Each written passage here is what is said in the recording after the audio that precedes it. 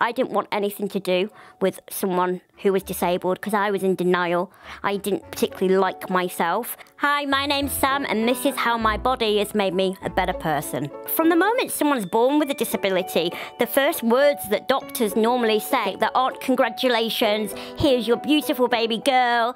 Actually, it's we're so sorry. I was born with a genetic disorder called osteogenesis imperfecta or brittle bones, which means I'm a full-time wheelchair user and I have a short stature. I didn't realise that I was disabled until other people started making me feel different. I wouldn't even be invited to sleepovers as a child because a lot of the parents were so fearful of having a child in their home with brittle bones. I was always bubbly, I was always uh, the life and soul of the party, but the more and more people treated me differently, the more I, I felt like, what's wrong with me? People often think I'm a lot younger than I am, um, less intelligent than I am. I remember vividly even being at university and I got a really high grade in one of my lectures and the lecturer came up to me and patted me on the head. I always had beautiful girlfriends, really sassy. I'm a northern girl, so we like to get dressed up. But I, I up until the age of maybe 23,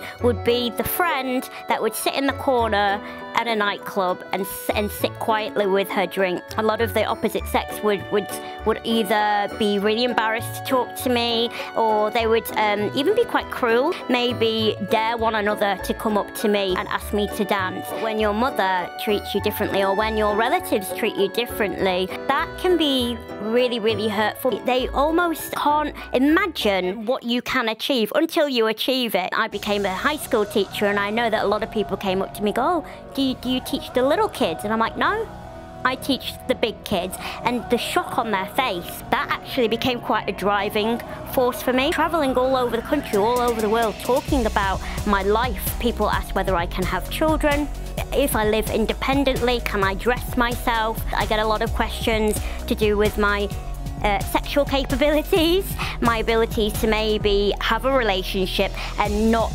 um, not need a carer.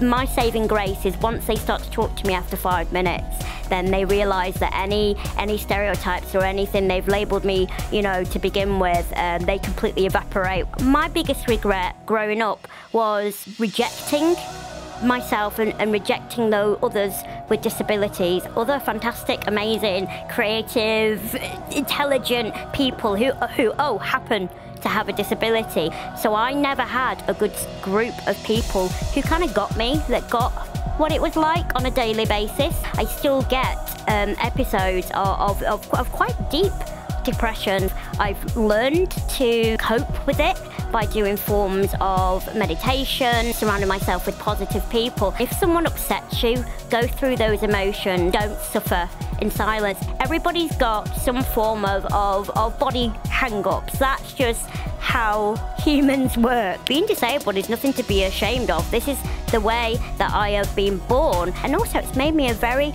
empathic compassionate person. It makes me a better daughter, it makes me a better sister and a, a, and a better friend. If I were to be reborn again, I would be reborn exactly the same.